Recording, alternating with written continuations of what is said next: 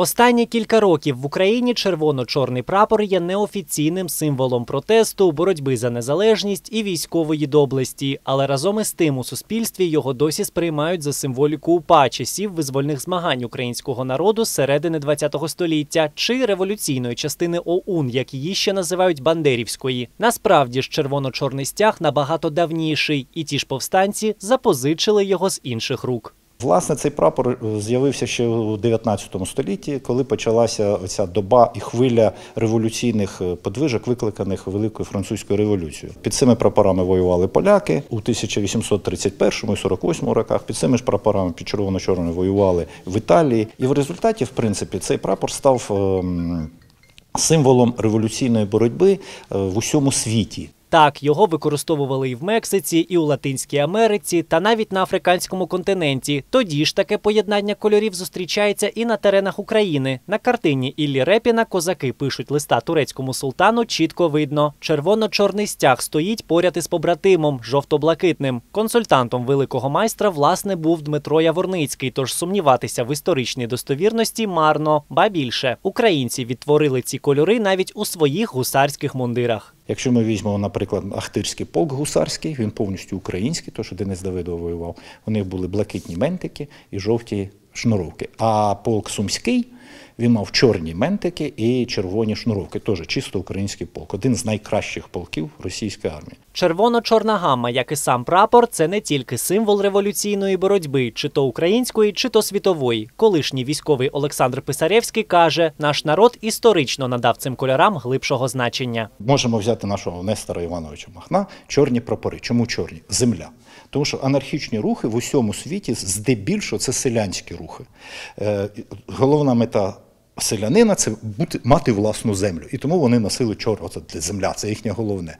Потім стали додавати червоне кров за землю. Тобто ми в своїй боротьбі не шкодуємо своєї крові за свою землю. Оце означає ця, ця гама.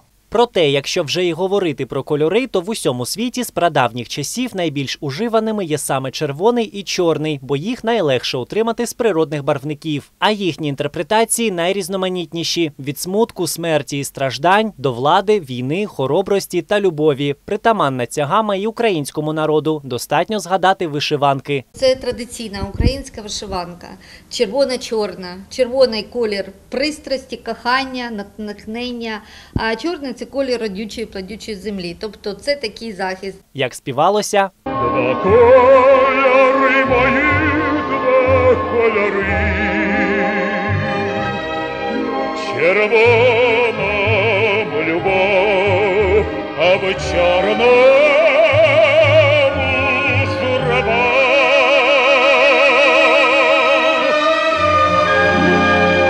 Цей стяг знов зринув після подій Майдану, коли почалася агресія з боку Росії, і вже шість років він використовується як бойовий, правда, неофіційно. За цей час червоно-чорне глибоко увійшло в сучасну культуру і вже набуло свого символізму, окремого від історичних попередників, каже пан Ігор, співробітник музею АТО. На зміну козакам та бандерівцям прийшли нові герої, які протидіють російським бойовикам саме під цим знаменом, як, наприклад, правий сектор, Українська добровольча армія чи батальйон Кривбас. Тобто сказати зараз напевно, що е, як будь-який підрозділ військовий або добровольчий використовує червоно-чорний прапор е, козацький або червоно-чорний прапор УПА, це вже не зовсім вірно. Він вже використовує його як свій. І якщо це прапор того ж правого сектору, там нанесено напис правий сектор, е, то це не прапор е, УПА з написом правий сектор, це прапор правого сектора. Але стереотипів щодо червоно-чорного стяга суспільство не позбавилось і досі. Люди пов'язують його із фашистами чи навіть комуністами. Інколи це призводить до провокацій та навіть збройних конфліктів.